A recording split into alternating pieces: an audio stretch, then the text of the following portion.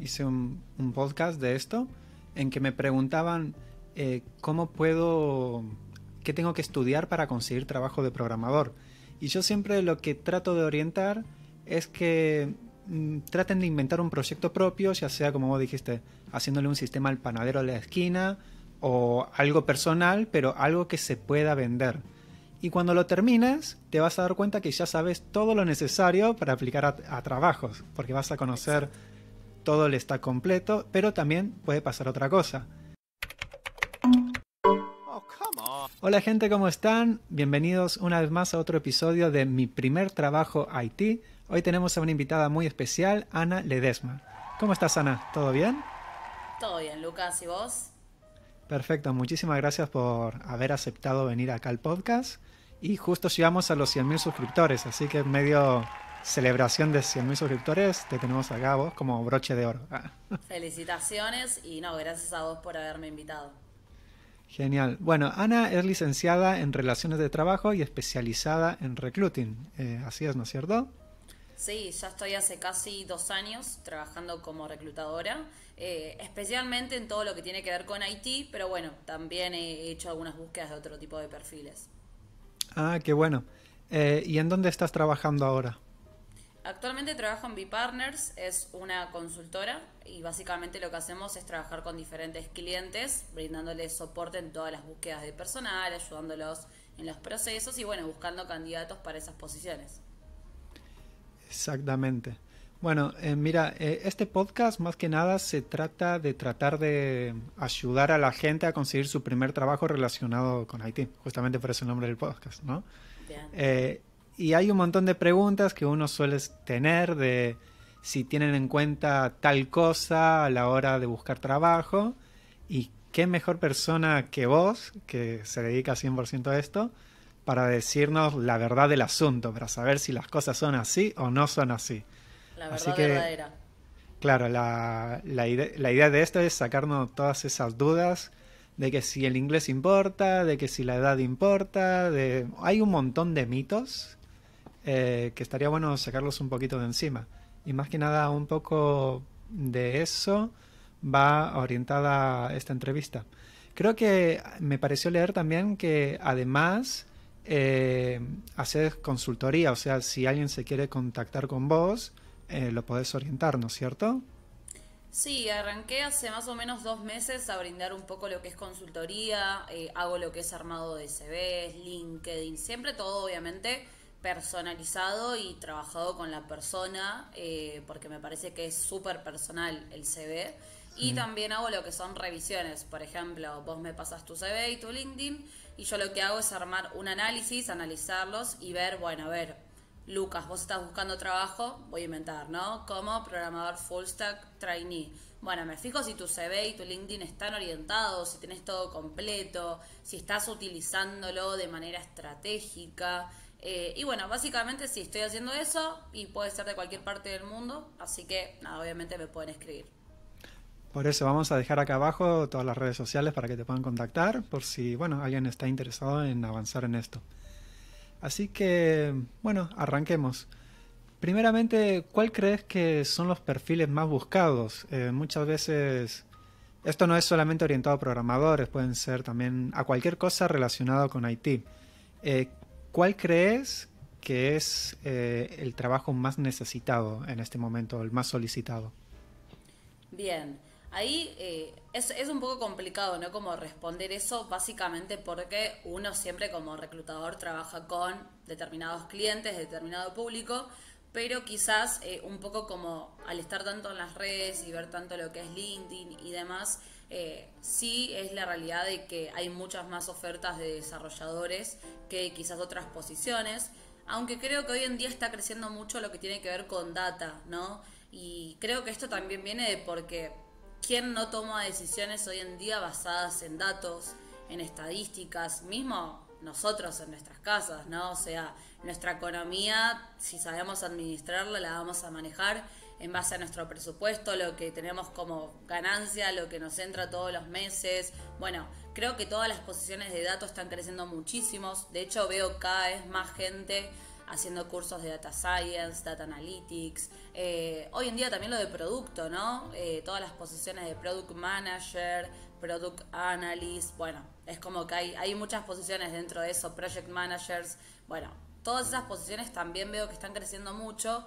Entonces es como que hoy en día ya todo lo técnico que quizás puede tener un desarrollador también se está como equilibrando con estas posiciones que son más de management, de manejo de equipos, de todo lo que es agile, ¿no? Eh, analistas funcionales, metodologías ágiles, eh, las personas que trabajan como Scrum Master, eh, bueno, esto que había dicho recién de Project Managers. Entonces, es bastante variado, pero sí, obviamente que los desarrolladores siempre van a ser más, porque quizás en un equipo vos podés tener un PM, podés tener un QA, podés tener un diseñador, pero tenés tres o cuatro desarrolladores y más si es una aplicación o, un sitio que tiene diferentes versiones, que está en la web, que está mobile, eh, bueno, todo eso, ¿no? Así que claro, no, no vas a tener no vas a tener un equipo de 10 Scrum Master y un programador, es como que están todos diciéndole qué hacer.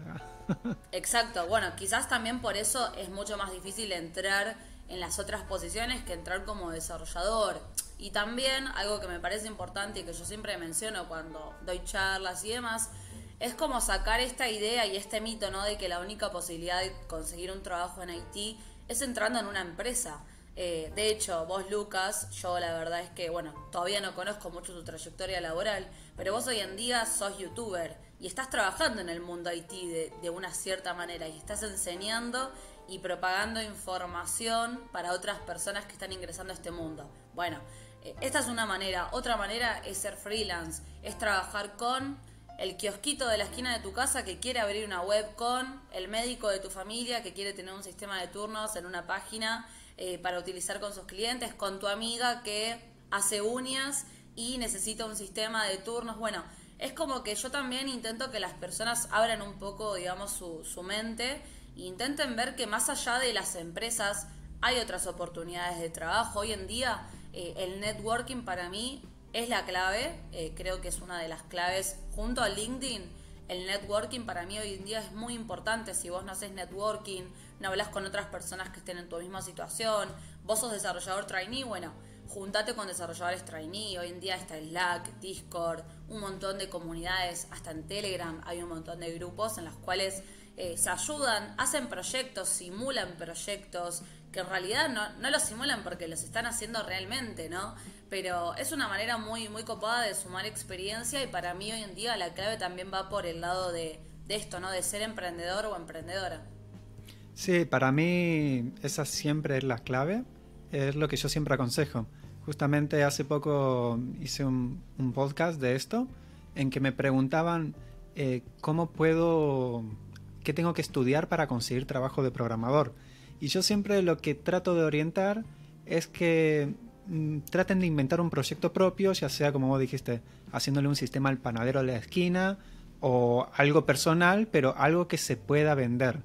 Y cuando lo termines, te vas a dar cuenta que ya sabes todo lo necesario para aplicar a, trabajos, porque vas a conocer todo el stack completo, pero también puede pasar otra cosa que cuando lo terminas veas que te está yendo muy bien económicamente con ese proyecto que hiciste. Y digas, hey, la verdad ya no me interesa buscar trabajo. Eh, me levanté este proyecto, armé una startup y me está funcionando. Eh, que en el peor de los casos, si te funciona mal, te vas a quedar con el conocimiento y ese conocimiento lo vas a poder aplicar para conseguir trabajo. Yo, de hecho, eh, que me decías de mi trayectoria, mm, yo arranqué así sin darme cuenta y de muy joven. Yo a los 16 años ya tenía en la cabeza de que quería hacer páginas web y nada, me puse por mi cuenta a armar páginas web. Le vendí la primera página web a mi hermano. O sea, no se la hice de onda, se la vendí, le cobré. bien, hay que cobrarle a todos. claro, por eso. Eh, y era como que ya estaba metido en el tema. Eh, y al final, en el boca al boca, eh, había un montón de gente que me llamaba para hacerle una página web, algo, y se lo desarrollaba. Después quería aprender a hacer videojuegos y por mi cuenta propia diseñé videojuegos y mi primer trabajo terminó siendo en una empresa de videojuegos. Pero no fue que fui a la empresa diciendo eh, quiero trabajar y mm, no sé nada de la vida, no, no tengo experiencia, nada, no estudié nada, no. Demostré juegos que ya había hecho, un montón de proyectos, todo, y, y me aceptaron. De hecho, fue bastante divertida eh, cómo fue mi aprobación de esa empresa. Eh, yo tenía 19 años, encima con 19 años ya entrando a una empresa súper chico, súper chico. Bueno, en mi caso es muy particular también. Pero, sinceramente, era medio eh, despistado, por decirlo de alguna forma, porque hago la entrevista y me dijeron que les gustaba mucho mi perfil, que estaba muy bueno todo y yo me quedé con la idea de que quedé. Antes de continuar les quiero mostrar algo que creo que va a ser sumamente útil para sus carreras. Tengo un montón de amigos programadores que trabajan para empresas de Estados Unidos, de Europa y en los grupos de WhatsApp siempre surge el debate de cómo hacer para cobrar esos euros y esos dólares con la menor cantidad de comisiones posible. Y surgen respuestas como que tenés que utilizar una aplicación para cobrar, de acá la envías a otra aplicación que es más compatible con criptomonedas, de esta otra la envías a otra wallet que te permite convertir esa cripto a Solana, por ejemplo, y recién ahí la puedes enviar a otra wallet en donde la puedes utilizar más para tus necesidades personales y al final son un montón de pasos que se vuelve inmensamente complicado. Y ni hablemos si queremos tratar de mantener todo esto de la forma más legal posible, es totalmente un lío. Por esta razón les quiero recomendar bitwage.com, que te da una solución todo en uno para poder cobrar desde cualquier parte del mundo en la moneda que tú quieras, ya sea fiat o criptomonedas, de una manera increíblemente fácil, cobrándote una comisión de menos del 2%. Simplemente registras tu cuenta bancaria o tu wallet de criptomonedas y también te trae un módulo completo para que crees facturas. Vamos, que Bitwage te cubre todas tus finanzas. Les dejo un link para que puedan acceder a bitwage.com y continuamos con el video. Como que ya está, es mío el trabajo. Pero no, era que le había gustado nada más, pero que tienen que seguir viendo. Pero yo me quedé con la idea de que quedé. Entonces el lunes fui a trabajar. Fui, caí con la portátil, todo, directamente, y no, no había quedado todavía. Decí que no tenías otro trabajo, ya hubieras renunciado. Claro, yo, si no ya hubiera renunciado también, pero pero le gustó tanto mi actitud de caer directamente a trabajar como si nada que me dieron el trabajo por eso. No, no, no, te imagino llegando con, una, con un maletincito así todo chiquito y es como, ¿qué haces acá? Ah, pero no había quedado, no, todavía no. Todavía no. no, bueno, bueno, pero quédate, ya está, no importa. Fue, más o menos algo así, ¿viste? Tipo, le gustó la actitud que... Puede ser, los obligué, pero no me di cuenta en realidad, no fue, no fue intencional, ¿viste? No, bueno, pero ves, esa, esa actitud que fue un accidente, obviamente, creo que nadie lo haría tipo, ah, voy a anotar, a ver si me toman. No, tipo, no, no es una estrategia, digamos, que uno va a realizar, pero esa actitud eh, dejó algo en ellos y de hecho creo que deben pasar los años y si aunque vos sigas o no sigas ahí, eh, ellos se van a seguir acordando de vos y seguramente debe ser algo que en la empresa debe haber quedado como anécdota positiva y más allá de lo gracioso, ¿no? Como mirá las ganas que tenía este chico, que le fue en la entrevista y bueno, creyó que ya había quedado, pero eh, está muy bueno y justo dijiste algo recién, eh, nombraste que eras un poco despistado y me hiciste como acordar, yo recién estaba terminando un post para subir hoy en mi página, que ah, justamente habla sobre las debilidades y las fortalezas en las entrevistas. Y me pareció bueno lo que dijiste, porque muchas veces me preguntan, Ana, ¿qué está bien o qué está mal decir ¿no? en esa parte de la entrevista? Y no hay respuestas correctas. Cuando uno va a hablar sobre uno, no hay una respuesta correcta. No significa que si vos decís que sos puntual, impuntual, organizado, desorganizado, va a estar bien o va a estar mal. La clave está en que vos justifiques lo que vas a decir. Por ejemplo, si yo te digo que soy impuntual, está bueno que yo te diga, bueno, mira, una de mis debilidades, Lucas, es que yo soy una persona bastante impuntual, pero como sé que soy impuntual, lo reconozco y sé que es algo que me puede llegar a jugar en contra, me pongo todos los días tres alarmas, tengo una agenda que la llevo a todos lados conmigo, donde me anoto todo, uso el calendario del celular. Entonces, vos a la persona le estás admitiendo que, o sea, ya le estás demostrando de que sos una persona sincera y que no está mintiendo, que le estás diciendo, che, tengo esta debilidad, pero también le estás dando como esa solución que vos encontraste a tu problema y, una estrategia. Y lo mismo con lo positivo. Soy una persona muy organizada, lo típico, ¿no? ¿Quién no dijo eso en una entrevista? Bueno, ¿por qué sos organizado? Y soy una persona organizada porque siempre llego con todos los parciales, suponte que soy una persona que no tiene experiencia laboral. Siempre llego todos los parciales con todos los temas estudiados, me hago los resúmenes dos semanas antes. Eh, en mi casa ayudo y tengo una organización con los horarios de la facultad, no sé. Entonces es como que uno tiene que aprender a justificar siempre lo bueno y lo malo. Y con la experiencia laboral es lo mismo. Vos recién decías, yo arranqué haciendo cosas por mi cuenta. Y uno que tiende a decir, no, esto no es experiencia laboral. Sí, es experiencia laboral. Vos usaste una metodología de trabajo, usaste herramientas, usaste tu conocimiento, lo hiciste en una cantidad determinada de tiempo. Ese proyecto tiene un fin y, y existe, o sea, vos lo podés mostrar. Entonces, nada, me parece que son justo dos claves que indirectamente me hiciste pensar y que me parece que está bueno porque son cosas que muchas personas preguntan y que muchas no preguntan y que no se dan cuenta de que quizás ahí está la clave para lograr eh, una entrevista exitosa. Totalmente. Y además eh, creo que es súper importante la sinceridad. Cuando uno va con demasiadas estrategias de qué decir, por qué decirlo, creo que una persona que hace entrevistas todo el tiempo ya se las sabe todas. Es como eh, se da cuenta cuando preguntas, decime una debilidad. Soy demasiado perfeccionista. No, bueno, otra. otra que no te hayas leído en Google. Cuando buscaba trabajo. Sí, sí, es que, ¿qué hace uno? Debilidades, eh, pone en Google, debilidades. Fortalezas y debilidades. Bueno, a ver, mm, esta, esta y esta. Pero te digo que no está mal, ¿eh? Yo también lo he buscado y me ha ayudado porque muchas veces no sabemos cómo poner en palabras lo que somos nosotros. Otra cosa copada para hacer es preguntarle a las personas con las que vivís, che, ma, pa, eh, hermano, novio, ¿qué, qué, ¿qué ves vos en mí en lo que yo sea débil o que yo sea fuerte? Y también está bueno, pero siempre anotarse y anotarse la explicación es un ejercicio que para mí no falla. Totalmente. Em, y otra que también suelen hacer mucho es que dicen que al final de una entrevista es muy importante las preguntas que vos tenés que hacer al, entrevistador. Pero el problema de eso es que mucha gente no lo hace con una intención verdadera, sino que lo hace porque sabe que es importante. Entonces, al final de la entrevista te hacen preguntas eh, vacías que, bueno, ¿y cómo es el día a día? Y nada, y sabes que no te está prestando atención, pero cumplió su cuota de hacer la pregunta y ya está, ¿no es cierto? no, sí, con respecto a eso de, las preguntas al final de la entrevista, eh, yo voy a serte sincera. Hay muchos reclutadores que la realidad es que si les hacen preguntas o no, es como que les da lo mismo. Después quizás yo creo que esas preguntas están buenas cuando uno tiene una entrevista directamente ya con no sé cómo explicarte, con la línea directa de trabajo. Por ejemplo, vos tuviste una entrevista con una consultora, luego tuviste una entrevista con recursos humanos de una empresa y luego tuviste la tercera entrevista con el manager del equipo en el que vas a trabajar. Esa tercera entrevista para mí y la segunda son como las claves. ¿Por qué?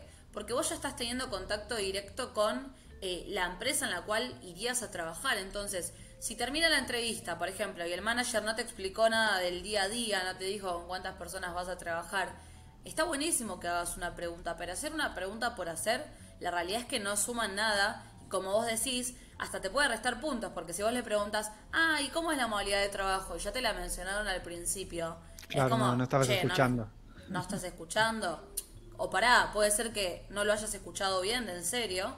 Y eso está buenísimo pero siempre hay como que buscar preguntas claves. De hecho, bueno, el otro día también hice un post sobre eso que lo van a poder ver en la página, de 10 tipos de preguntas para hacer en el final de una entrevista. Y me parece que es importante y que está bueno y que también apela al interés de la persona, ¿no? Si yo hago una pregunta al final, que sea una pregunta clave, eh, ¿cuántas personas va a haber en mi equipo de trabajo? ¿En qué proyecto voy a trabajar? ¿Es un proyecto propio de la empresa? ¿Es para un tercero?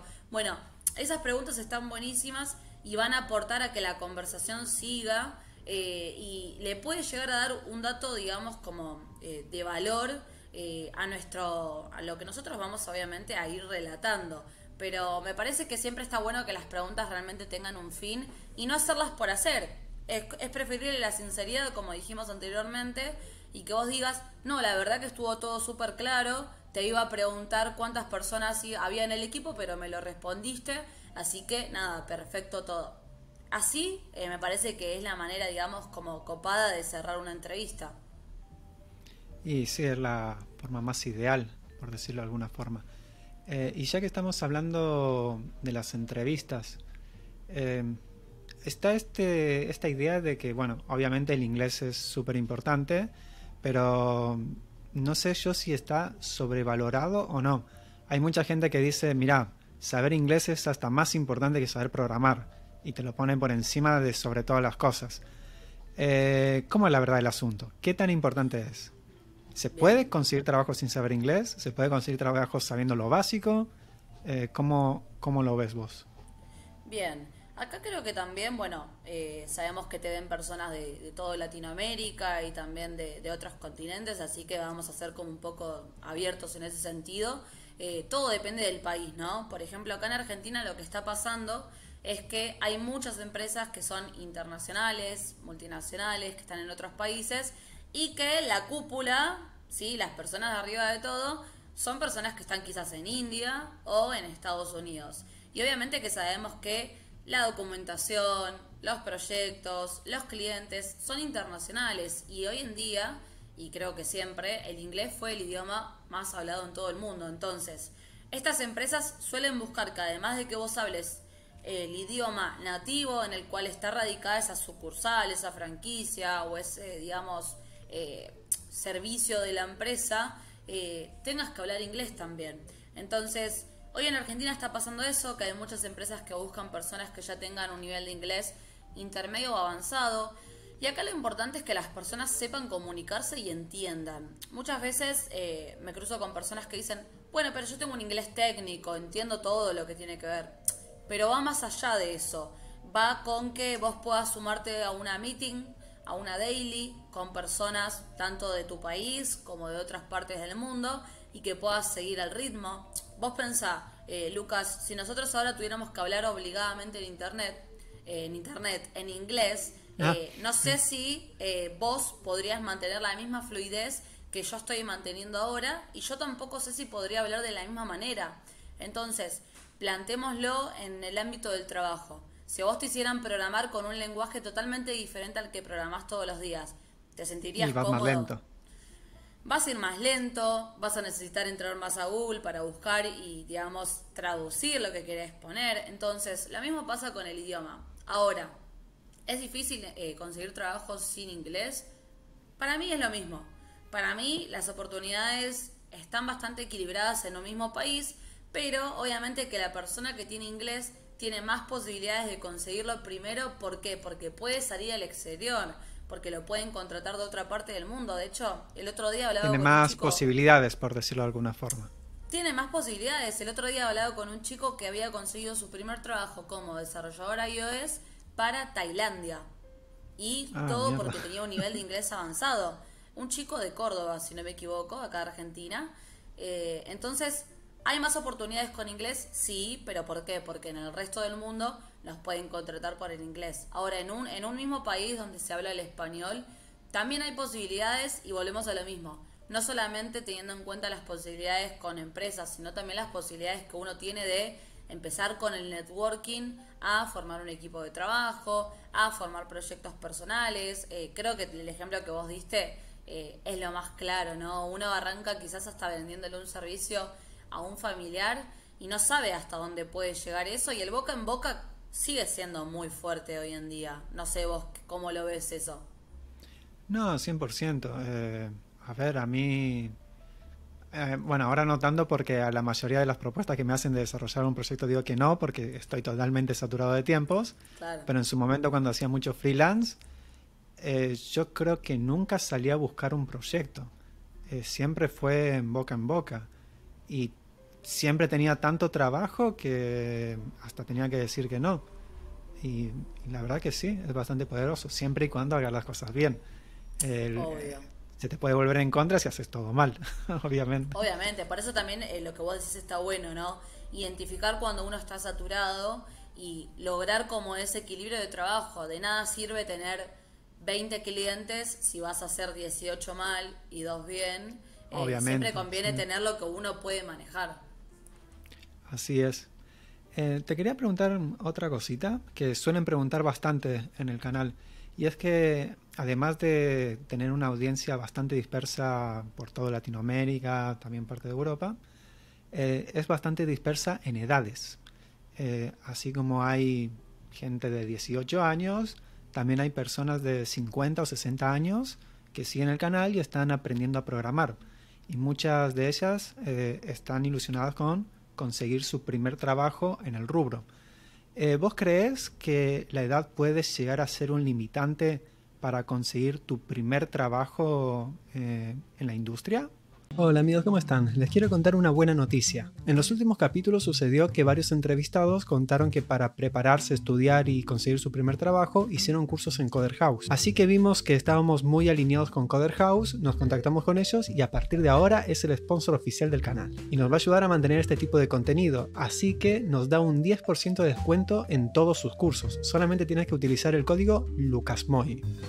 Desde la página web pueden elegir el curso que ustedes quieran, tienen pero de todo tipo, tienen tanto para User Experience Designer, Marketing Digital, Programación, eh, artes digitales, de todo, de programación, también todo tipo de lenguajes, tienen tanto de SQL, Java, JavaScript, Python, de todo. Cuando estés cursando vas a poder chatear con tutores para despejar dudas, vas a poder también hacer ejercicios, desafíos, asistir a clases, hablar con compañeros eh, y también vas a tener un calendario con todas las clases a las que tienes que atender. Así que ya saben, si quieren prepararse para conseguir su primer trabajo, un curso de Coder House de seguro les va a ayudar y en la descripción del video van a tener un link con el 10% de descuento.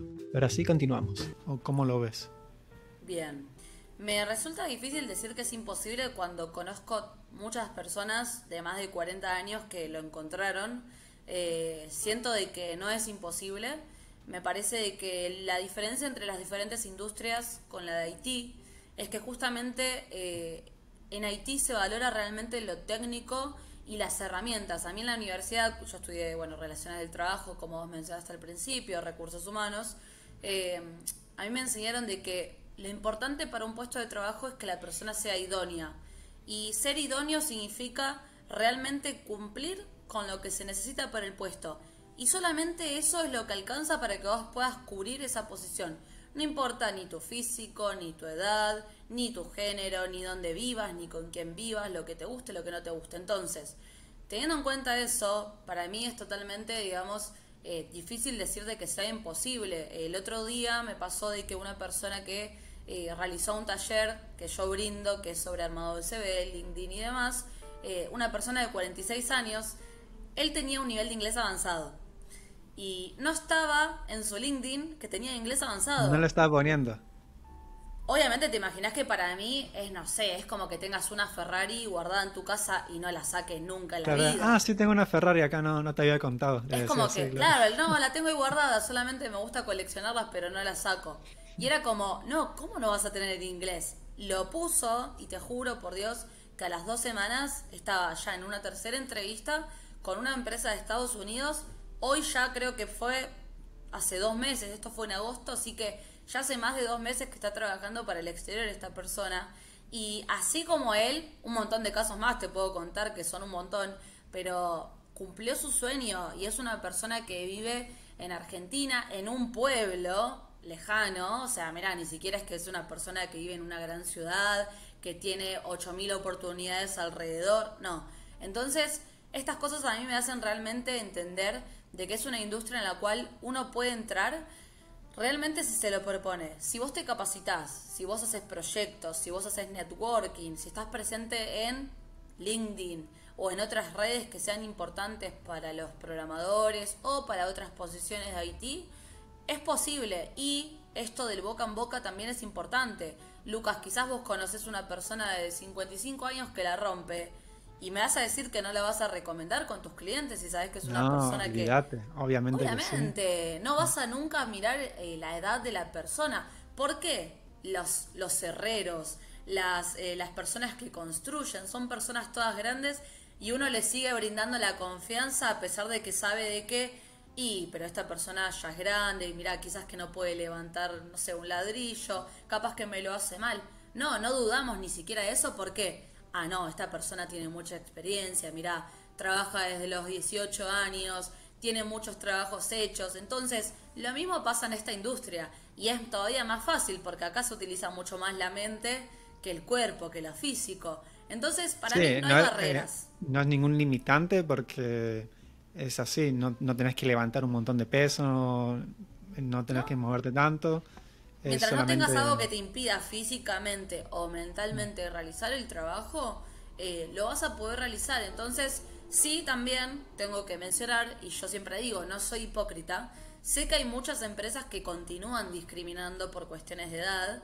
Eh, eso lo sabemos, es difícil que cambie hasta que no cambie totalmente la mentalidad de una compañía que piensa que una persona por tener más de 30, 40 o 50 años no puede hacer un trabajo. Y también creo que también eh, viene mucho también por el lado de lo que es eh, los diferentes países y sus normativas, ¿no?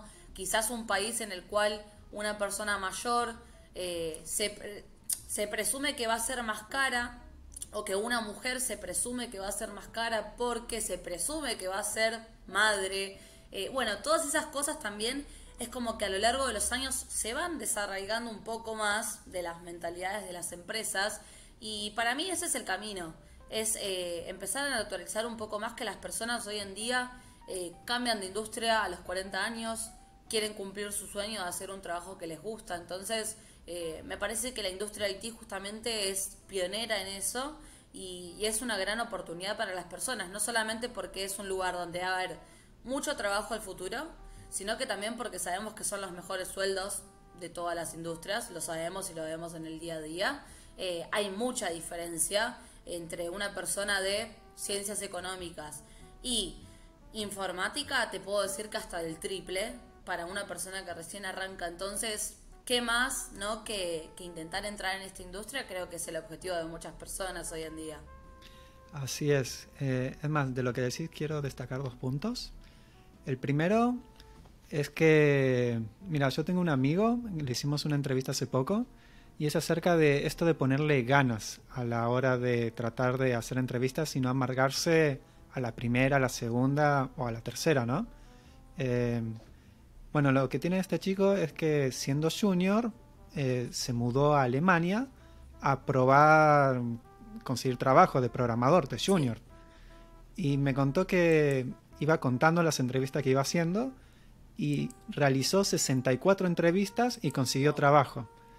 Y ya está, al final eh, de cierta forma es estadístico. Eh, le costaba mucho el inglés, pero con cada entrevista la iba piloteando y iba aprendiendo. Y quizás eh, tus factores, tus conocimientos, tu experiencia te den un porcentaje de efectividad menor. Quizás tengas un 3% de acierto, pero ¿cuántos trabajos necesitas? ¿Necesitas cinco trabajos, seis trabajos? No, necesitas uno solo. Y la repetición vence a la suerte, de cierta forma. Entonces, mientras más probas, tiene que salir en algún momento. Yo lo veo así.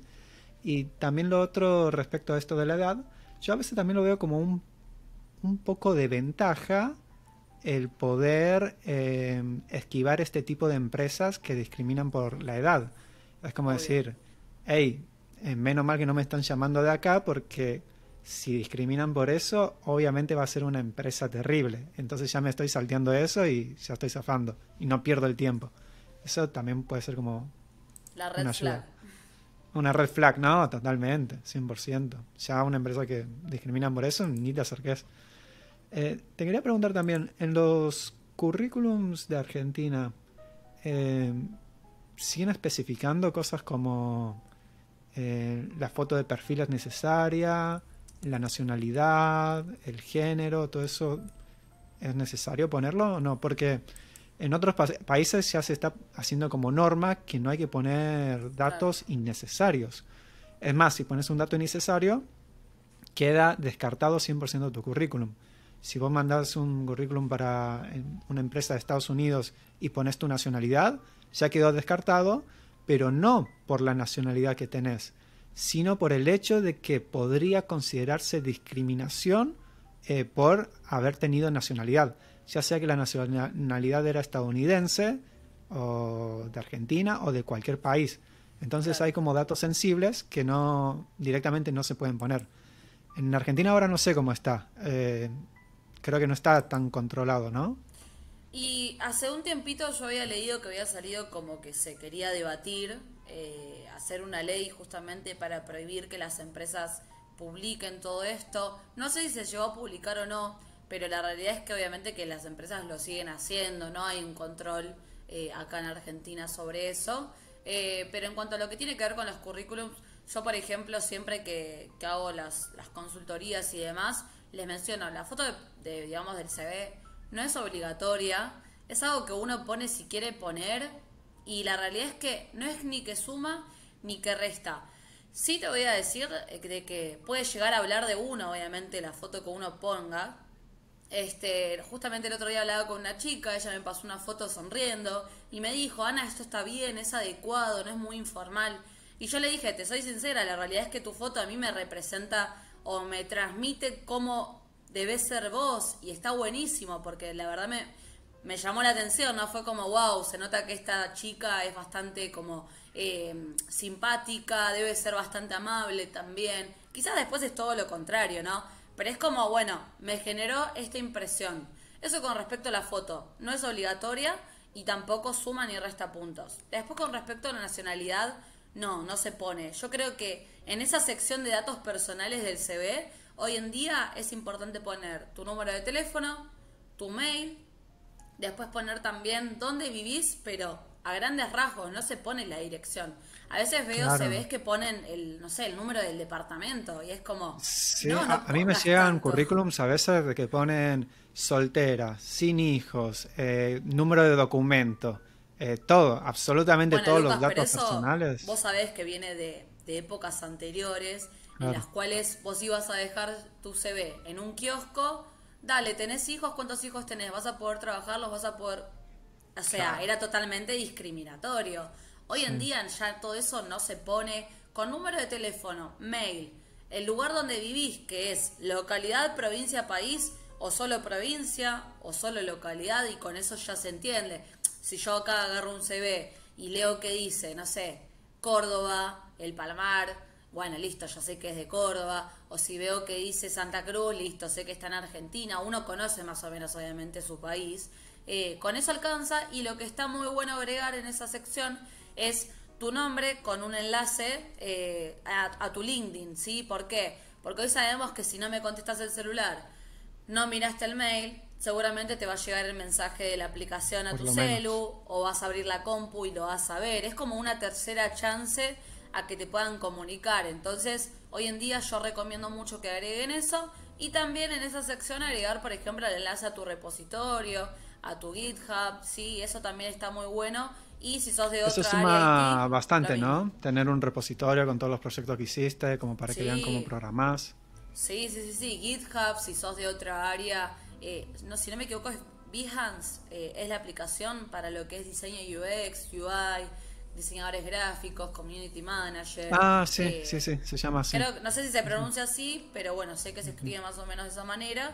Y también está buenísimo y para mí es clave mostrar los trabajos de uno ya en su CV, que puedan entrar y que puedan ver lo que haces. Está buenísimo porque quizás el reclutador no entiende, pero el reclutador se lo pasa al líder che, mirá, fíjate su repositorio. Ah, mirá todos los trabajos que hizo, este chico tiene código, esta chica. Entonces, está bueno incluirlo en, tu CV, súper. Perfecto. Bueno, Ana, buenísimo. Eh, ya estamos llegando al final del podcast. Eh, ¿Te gustaría dar así un último consejo para esa persona que eh, le cuesta todavía saltar al agua y empezar a tirar a currículums, a probar? Eh, ¿Qué último consejo te gustaría que se quede la gente de todo lo que hablamos? Porque vimos un poquito de todo, por decirlo.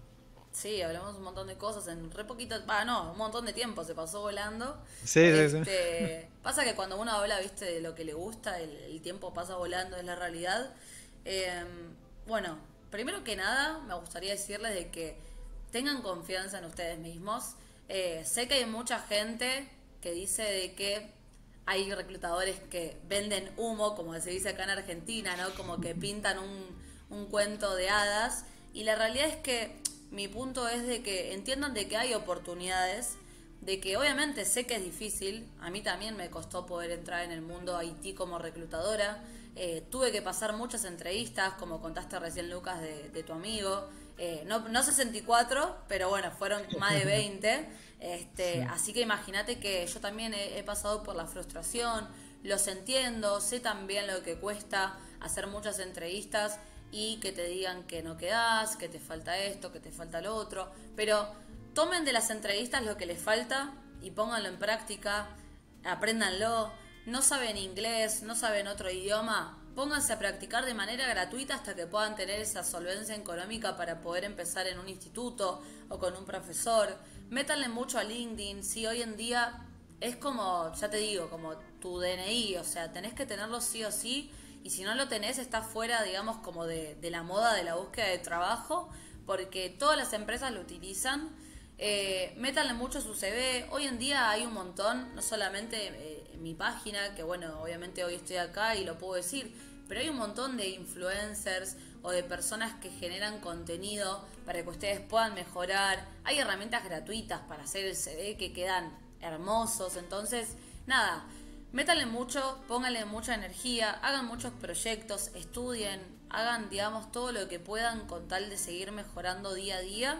Eh, intenten también ser eh, sensatos con ustedes mismos, ¿sí? no se postulen a cosas que saben que su perfil no va, porque esa respuesta negativa es una frustración más que sumamos. Yo prefiero postularme a uno solo que sé que voy, que a 10 que 9 no iba y que van a ser 9 respuestas que nunca van a llegar o que si llegan van a ser negativas. ¿Y qué va a pensar mi mente?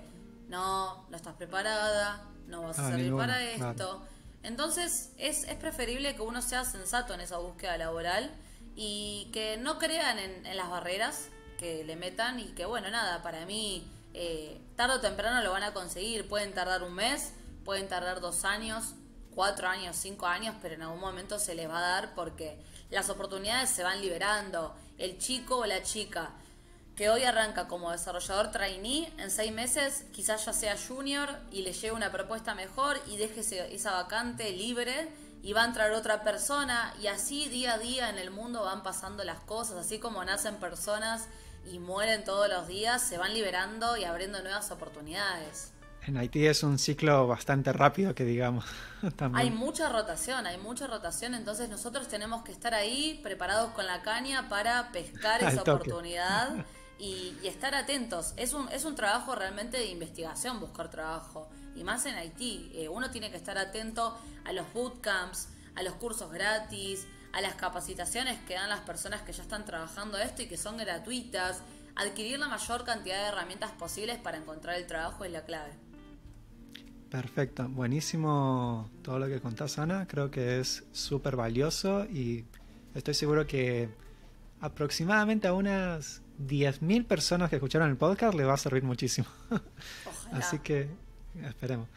Así que bueno, Ana, muchísimas gracias por haber venido eh, y espero poder volver a verte de vuelta en otro capítulo.